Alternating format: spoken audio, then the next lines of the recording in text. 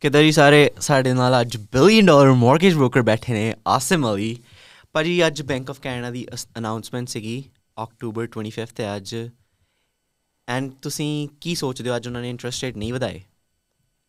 ਹਾਂਜੀ, ਦੇਖੋ ਇਹ ਇਹ ਸਾਰੇ ਜਿੰਨੇ ਵੀ ਇਕਨੋਮਿਸਟ ਸੀ ਆਲਰੇਡੀ ਪ੍ਰੈਡਿਕਟ ਕਰ ਰਹੇ ਸੀ। ਅਮ, ਅਗਰ ਅੱਜ ਰੇਟ ਨਹੀਂ ਇਨਕਰੀਜ਼ ਕਰਦੇ ਨੇ ਦਸੰਬਰ ਨੂੰ ਰੇਟ ਨਹੀਂ ਇਨਕਰੀਜ਼ ਕਰਦੇ ਨੇ, ਤੇ ਇਸ ਟਾਈਮ ਜਿੰਨੇ ਵੀ ਇਕਨੋਮਿਸਟ ਨੇ ਨੈਕਸਟ ਈਅਰ ਦੀ ਪ੍ਰੈਡਿਕਸ਼ਨ ਹੈ ਕਿ ਰੇਟਸ ਡ੍ਰੌਪ ਹੋਣਾ ਸਟਾਰਟ ਹੋ ਜਾਣਗੇ। ਕੁਝ ਦੀ ਪ੍ਰੈਡਿਕਸ਼ਨ ਹੈ ਸਪ੍ਰਿੰਗ 'ਚ ਕੁਝ ਦੀ ਸਮਰ 'ਚ ਤੇ ਕੁਝ ਦੀ ਫਾਲ ਬਟ ਓਵਰਆਲ ਕੰਸੈਂਸਸ ਹੈ ਅਮੰਗ ਬੈਂਕਸ ਜਿੰਨੇ ਵੀ ਇਕਨੋਮਿਸਟ ਨੇ ਐਨਾਲਿਸਟ ਨੇ ਕਿ next year bank of Canada ਦੀ ਆਪਣੇ ਵੀ ਜਿਹੜੇ ਇੰਟਰਨਲ ਜਿਹੜੇ ਮੈਮੋਸ ਹੈਗੇ ਨੇ ਪਬਲਿਕ ਨੂੰ ਜਿਹੜੀ ਉਹਨਾਂ ਨੇ ਕਾਨਫਰੰਸਸ ਕੀਤੀਆਂ ਨੇ ਉਹਨਾਂ 'ਚ ਹੀ ਉਹਨਾਂ ਨੇ ਲੋਕਾਂ ਨੂੰ ਕਿਹਾ ਕਿ ਅਸੀਂ ਨੈਕਸਟ ਈਅਰ ਜਿਹੜਾ ਰੇਟਸ ਨੂੰ ਡ੍ਰੌਪ ਕਰਨ ਦਾ ਪਲਾਨ ਕੀਤਾ ਹੋਇਆ ਤੇ ਹੋਪਫੁਲੀ ਆਈ ਊਡ ਸੇ ਕਿ ਅਸੀਂ ਜਾਂ ਤੇ ਜਿਹੜੀ ਡਾਰਕ ਟਨਲ ਉਸ ਤੋਂ ਬਾਹਰ ਆ ਚੁੱਕੇ ਹਾਂ ਜਾਂ ਬਾਹਰ ਆਉਣ ਵਾਲੇ ਹਾਂ।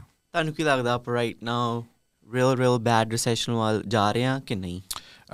ਜਿੰਨੀ ਨਿਊਜ਼ ਸੀ, ਦੇਖੋ ਤੁਹਾਡੇ ਸਾਹਮਣੇ ਹੀ ਹੈ, ਪਿਛਲੇ 2 ਸਾਲ ਆਪਾਂ ਸੁਣਿਆ ਕਿ ਜਿਹੜੀ ਹੈ ਰੈਸੈਸ਼ਨ ਆ ਜਾਏਗੀ ਕੱਲ ਆ ਜਾਏਗੀ, ਪਰਸੋਂ ਆ ਜਾਏਗੀ ਮਾਰਕੀਟ ਡਿਪ ਹੋਣ ਵਾਲੀ ਹੈ।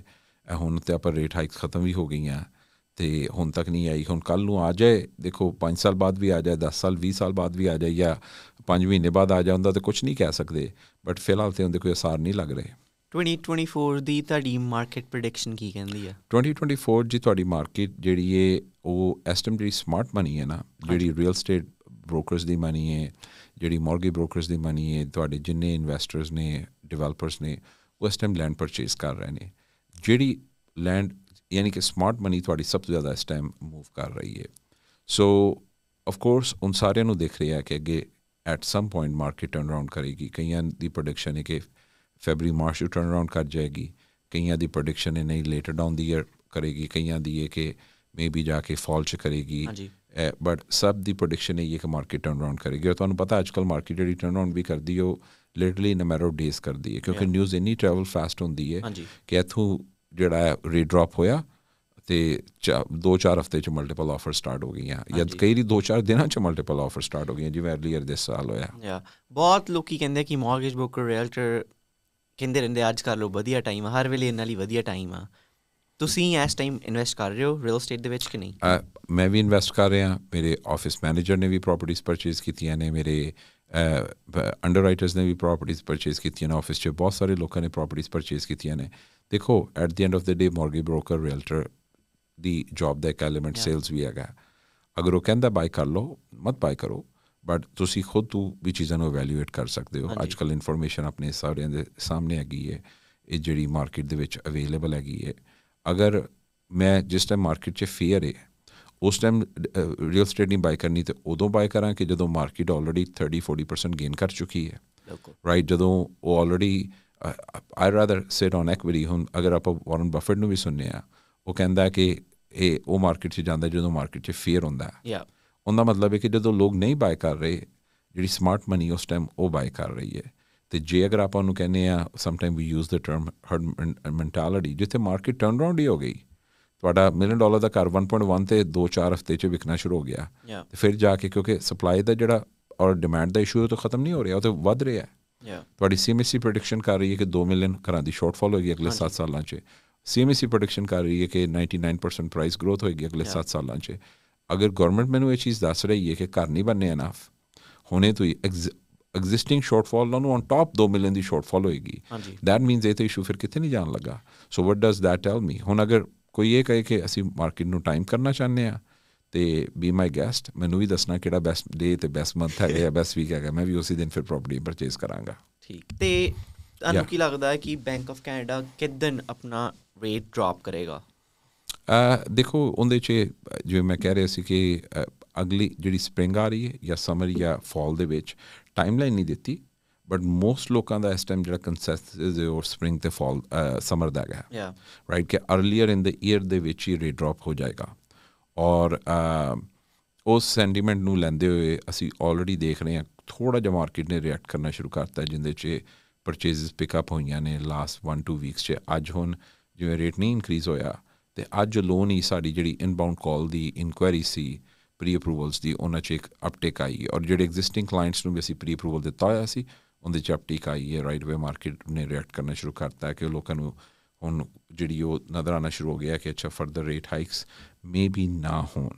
ਕੁਝ ਲੋਕ ਕਹਿ ਰਹੇ ਨੇ ਸ਼ਾਇਦ ਦਸੰਬਰ ਦੀ ਹੋਏ। ਵੀਲ ਸੀ ਬਟ ਫਿਰ ਵੀ ਇੱਕ ਤੁਹਾਡੀ ਹੁਣ ਇਸ ਸਾਲ ਦਾ ਅਗਰ ਤੁਸੀਂ ਟੋਟਲ ਦੇਖਦੇ ਹੋ ਇਹ ਚੌਥੀ ਮੀਟਿੰਗ ਹੈ ਜਿਹਦੇ ਚ ਬੈਂਕ ਆਫ ਕੈਨੇਡਾ ਨੇ ਇੰਟਰਸਟ ਰੇਟ ਹਾਈਕ ਨਹੀਂ ਕੀਤੀ। ਯਾ ਤੁਹਾਡੇ ਹਿਸਾਬ ਨਾਲ ਤੁਸੀਂ ਮਾਰਗੇਜ ਇੰਡਸਟਰੀ ਦੇ ਵਿੱਚ ਹੋ 2022 ਤੇ 2023 ਦੇ ਵਿੱਚ ਮਾਰਗੇਜ ਕਿੰਨੀ ਕੁ ਤੁਹਾਨੂੰ ਫਲਕਚੁਏਸ਼ਨ ਦੇਖ ਰਹੀ ਹੈ?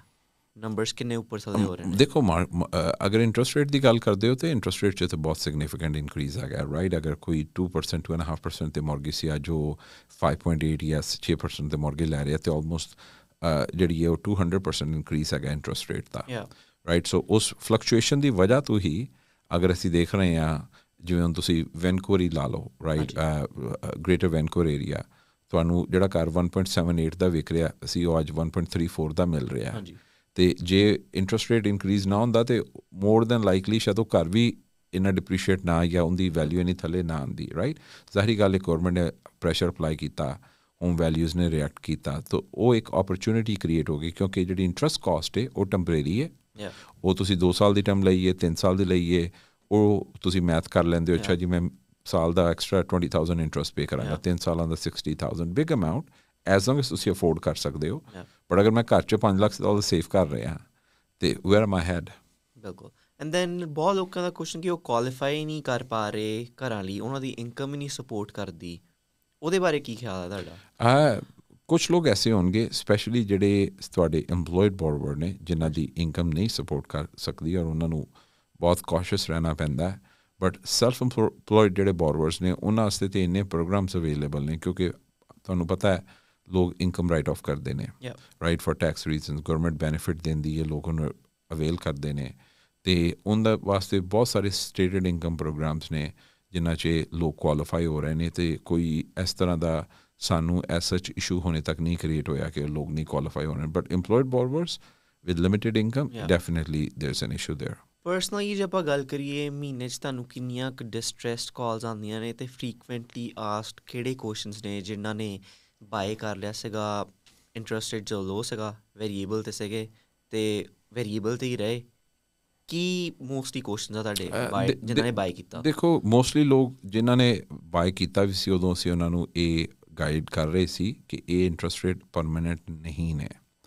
ਇਹ ਜ਼ਰੂਰ ਉਹਨਾਂ ਨੂੰ ਅਸੀਂ ਦੱਸ ਰਹੇ ਸੀ ਕਿ ਬੈਂਕ ਆਫ ਕੈਨੇਡਾ ਔਰ ਉਹਨਾਂ ਨੂੰ ਖੁਦ ਵੀ ਦਾਰੀ ਗੱਲ ਹੈ ਅੱਜ ਕੱਲ੍ਹ ਹਰ ਬੰਦਾ ਇਨ ਟੱਚ ਹੈ ਕਿ ਬੈਂਕ ਆਫ ਕੈਨੇਡਾ ਨੇ ਉਦੋਂ ਪੂਰੀ ਮਾਰਕੀਟ ਨੂੰ ਇਹ ਜਿਹੜਾ ਹੈ, ਕੈਨੇਡਾ ਦੇ ਵਿੱਚ ਬਾਰ-ਬਾਰ ਉਹਨਾਂ ਨੇ ਡਿਫਰੈਂਟ ਮੀਟਿੰਗਸ 'ਚ ਕਿਹਾ ਕਿ 2023 ਦੇ ਐਂਡ ਤੱਕ ਅਸੀਂ ਰੇਟ ਨਹੀਂ ਇਨਕਰੀਜ਼ ਕਰਾਂਗੇ। ਸੋ ਉਹ ਮਾਈਂਡ ਸਾਡਾ ਵੀ ਸੀ ਬ੍ਰੋਕਰਸ ਦਾ ਵੀ ਬੈਂਕਰਸ ਦਾ ਵੀ ਰੀਅਲਟਰਸ ਦਾ ਵੀ ਜੋ ਵੀ ਇਸ ਸ਼ੋਬੇ ਨਾਲ ਲਿੰਕ ਕਰਦਾ ਸੀ ਉਹਦਾ ਮਾਈਂਡਸੈਟ ਔਰ ਜਨਰਲ ਪਬਲਿਕ ਦਾ ਵੀ ਸੀ। ਕੰਸੈਂਸਸ ਸੀ ਕਿ ਸ਼ਾਇਦ ਇਨਕਰੀਜ਼ ਨਹੀਂ ਹੋਣਗੇ ਬਟ ਉਹ ਅਨਫੋਰਚੂਨਟਲੀ ਇਨਕਰੀਜ਼ ਹੋ ਗਏ। ਬਟ ਇਹ ਕਿ ਲੋਕਾਂ ਨੂੰ ਅਸੀਂ ਆਲਰੇਡੀ ਪਹਿਲੇ ਅਸੀਂ ਇਹ ਪ੍ਰਪੇਅਰ ਕੀਤਾ ਹੋਇਆ ਸੀ ਅਸੀਂ ਕਲਾਇੰਟਸ ਨੂੰ ਐਜੂਕੇਟ ਕੀਤਾ ਹੋਇਆ ਸੀ। ਸੋ ਉਹ ਕਲਾਇੰਟਸ ਨੂੰ ਇਹ ਦੱਸਦੇ ਸੀ ਕਿ ਤੁਸੀਂ ਆਪਣੀ ਕੁਝ ਜਿਹੜੀ ਨੇ ਲਿਕੁਇਡਿਟੀ ਜਾਂ ਸੇਵਿੰਗ ਸਾਈਡ ਤੇ ਰੱਖੋ ਤੇ ਮੋਸਟਲੀ ਲੋਗੋ ਲੈ ਕੇ ਚੱਲੇ। ਇਸ ਵਜ੍ਹਾ ਤੋਂ ਥੈਂਕਫੁਲੀ ਹੋਣੇ ਤੱਕ ਕੋਈ ਐਸਾ ਜਿਹੜੀ ਉਹ ਅਪਟਿਕ ਨਹੀਂ ਹੈਗੀ। ਕਾਲਸ ਦੇ ਵਿੱਚ ਜ਼ਰੂਰ ਇਜ਼ਾਫਾ ਹੋਇਆ ਜਿੱਥੇ ਲੋਕਾਂ ਦਾ ਕੁਐਸਚਨ ਇਹ ਜ਼ਰੂਰ ਹੁੰਦਾ ਕਿ ਕਦੋਂ ਰੇਟਸ ਡ੍ਰੌਪ ਹੋਣਗੇ ਬਟ ਡਿਫਾਲਟ ਰੇਟ ਨਹੀਂ ਇਨਕਰੀਜ਼ ਹੋਇਆ ਕਿ. ਲੋਕਾਂ ਨੇ ਫਿਰ ਵੀ ਸਸਟੇਨ ਕਰ ਲਿਆ ਉਹਨਾਂ ਚੀਜ਼ਾਂ ਨੂੰ ਤੇ ਜੇ ਆਪਾਂ ਗੱਲ ਕਰੀਏ ਰਾਈਟ ਨਾਓ ਜਿਹੜੀ ਵੇਰੀਏਬਲ ਮਾਰਗੇਜ ਤੇ ਫਿਕਸ ਮਾਰਗੇਜ ਬਾਰੇ ਦੱਸੋ ਕੀ ਰੇਟਸ ਚੱਲ ਰਹੇ ਨੇ? ਫਿਕਸ ਦਾ ਇਸ ਟਾਈਮ ਰੇਟ ਤੁਹਾਡਾ ਹਾਈ 5 ਸੇ ਮੋਸਟਲੀ ਚੱਲ ਰਿਹਾ।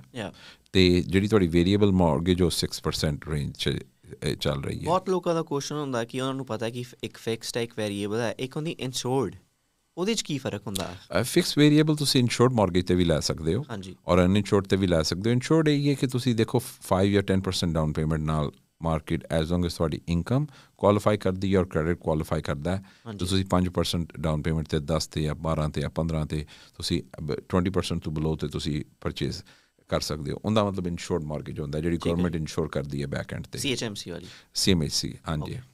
ਅਸੀਮ ਜੀ ਤੁਸੀਂ ਓਵਰ 2.5 ਬਿਲੀਅਨ ਡਾਲਰਸ ਫੰਡ ਕਰ ਚੁੱਕੇ ਹੋ। ਕੈਨੇਡਾ ਦੇ ਟਾਪ 10 ਮਾਰਗੇਜ ਬ੍ਰੋਕਰਸ ਚਾਹੁੰਦੇ ਹੋ। ਜੇ ਕੋਈ ਨਵਾਂ ਮਾਰਗੇਜ ਬ੍ਰੋਕਰ ਇੰਡਸਟਰੀ ਚ ਆਉਣਾ ਚਾਹੁੰਦਾ ਆ ਜੋ ਤੁਹਾਡੀ ਟੀਮ ਜੁਆਇਨ ਕਰਨਾ ਚਾਹੁੰਦਾ ਕੀ ਸਲਾਹ ਆ ਉਹਦੀ ਤੁਹਾਨੂੰ? ਕੀ ਸਲਾਹ ਉਹਨੂੰ ਦੇਣੀ ਚਾਹੋਗੇ? ਤੇ ਕੋਈ ਐਡਵਾਈਸ ਦਿਓ।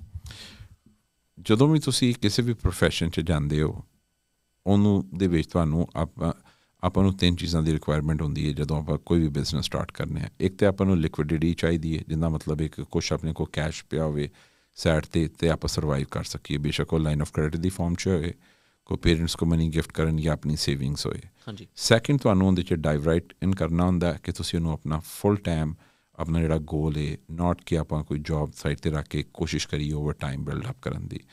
ਜਿੰਨਾ ਤੁਸੀਂ ਜ਼ਿਆਦਾ ਡਾਈਵ ਕਰੋਗੇ, ਉਨੀ ਤੁਹਾਡੇ ਚਾਂਸਸ ਆਫ ਸਕਸੈਸ ਇਨਕਰੀਜ਼ ਹੋ ਜਾਂਦੇ ਨੇ। ਇਹ ਨਹੀਂ ਕਿ ਦੂਸਰੇ ਮੈਥਡ ਨਾਲ ਨਹੀਂ ਹੋ ਸਕਦਾ, ਜਿਹੜਾ ਲੇਕਿਨ ਇਟ ਬਿਕਮਸ ਈਜ਼ੀਅਰ ਔਰ ਸਭ ਤੋਂ ਮੋਸਟ ਇੰਪੋਰਟੈਂਟ ਇਹਦੇ 'ਚ ਜਿਹੜੀ ਚੀਜ਼ ਹੋਏ ਐਕਸਪੋਜ਼ਰ ਐਕਸਪੋਜ਼ਰ ਦਾ ਮਤਲਬ ਇਹ ਕਿ ਤੁਸੀਂ ਕੋਈ ਜੌਬ ਰੋਲ ਕੋਈ ਕੀਤਾ ਹੋਇਆ, ਕੋਈ ਸੇਲਸ ਬੈਕਗ੍ਰਾਉਂਡ ਹੈ ਔਰ ਜਾਂ ਤੁਹਾਡੀ ਜਿਹੜੀ ਬ੍ਰੋਕਰੇਜ ਹੈ ਉਹ ਤੁਹਾਨੂੰ ਕੋਈ ਐਸਾ ਪਲੇਟਫਾਰਮ ਪ੍ਰੋਵਾਈਡ ਕਰਦੀ ਹੈ ਕੋਈ ਉਹ ਕੋਚਿੰਗ ਮਾਡਲ ਪ੍ਰੋਵਾਈਡ ਕਰਦੀ ਹੈ ਨਾਨ ਕੋਚਿੰਗ ਮਾਡਲ ਪ੍ਰੋਵਾਈਡ ਕਰਦੀ ਹੈ ਕੋਈ ਅੰਡਰਰਾਈਟਿੰਗ 'ਚ ਹੈਲਪ ਕਰਦੀ ਹੈ ਉਹ ਤੁਹਾਡੇ ਲਈ ਬਹੁਤ ਜਿਹੜਾ ਇੰਪੋਰਟੈਂਟ ਐਲੀਮੈਂਟ ਹੈ ਇਸੇ ਤਰ੍ਹਾਂ ਹੀ ਹੈ ਜਿਵੇਂ ਆਪਾਂ ਮੈਕਡੋਨਲਡ ਦੀ ਫਰੈਂਚਾਈਜ਼ ਲੈ ਲੈਂਦੇ ਹਾਂ ਹਾਂਜੀ ਰਾਈਟ ਤੇ ਮੈਕਡੋਨਲਡ ਦੀ ਫਰੈਂਚਾਈਜ਼ ਜ਼ਾਹਰੀ ਗੱਲ ਹੈ ਉਹਨਾਂ ਦੀ ਕੋਸ਼ਿਸ਼ ਹੋਏਗੀ ਕਿ ਇਹ ਅਸੀਂ ਇਹਨੂੰ ਰੈਪਲੀਕੇਟ ਕਰੀਏ ਜਿਹੜਾ ਮਾਡਲ ਆਲਰੇਡੀ ਸਾਡੇ ਕੋਲ ਐਗਜ਼ਿਸਟ ਕਰਦਾ ਹੈ. ਇਸ ਤਰ੍ਹਾਂ ਜਿਹੜੀ ਤੁਹਾਡਾ ਇੱਕ ਪਲੇਟਫਾਰਮ ਹੈ ਇੱਕ ਰਾਈਟ ਜਗ੍ਹਾ 'ਚ ਜਾਣਾ ਤੁਹਾਨੂੰ ਜਿਹੜਾ ਐਗਜ਼ਿਸਟਿੰਗ ਮਾਡਲ ਵਰਕ ਕਰ ਰਿਹਾ ਹੈ ਉਹਨਾਂ ਸਾਰਿਆਂ ਵਾਸਤੇ ਉਹਨਾਂ ਦੀ ਸਾਰੀ ਟੀਮਸ ਤੇ ਬ੍ਰੋਕਰਸ ਵਾਸਤੇ ਉਹ ਰੈਪਲੀਕੇਟ ਕਰਕੇ ਐਸੈਂਸ਼ਲੀ ਤੁਹਾਨੂੰ ਪਲੇਟਰ 'ਚ ਰੱਖ ਦਿੰਦੇ ਨੇ। ਜੇ ਕੋਈ ਤੁਹਾਡੀ ਟੀਮ ਜੁਆਇਨ ਕਰਨੀ ਚਾਹੁੰਦਾ ਆ ਤੁਹਾਨੂੰ ਕੰਟੈਕਟ ਕਿਦਾਂ ਕਰੇ? ਸਾਨੂੰ ਫੋਨ ਕਰੋ ਜੀ uh, 6045913590 ਕਾਲ ਕਰੋ ਸਾਡੇ ਆਫਿਸ 'ਚ ਸਾਡੇ ਆਪਰੇਸ਼ਨਸ ਨਾਲ ਕਮਿਊਨੀਕੇਟ ਕਰੋ ਐਂਡ ਸਾਡੇ ਅਸੀਂ ਤੁਹਾਨੂੰ ਆਪਣੇ ਰਿਕਰੂਟਰ ਨਾਲ ਰਾਈਟ ਵੇ ਇਨ ਟੱਚ ਕਰਵਾਵਾਂਗੇ ਤੁਸੀਂ ਪਰਸਨਲੀ ਮੈਂਟਰ ਕਰ ਰਹੇ ਹੋ? there. Uh, 100% ਆਲਰਾਈਟ ਠੀਕ ਠੀਕ ਹੈ.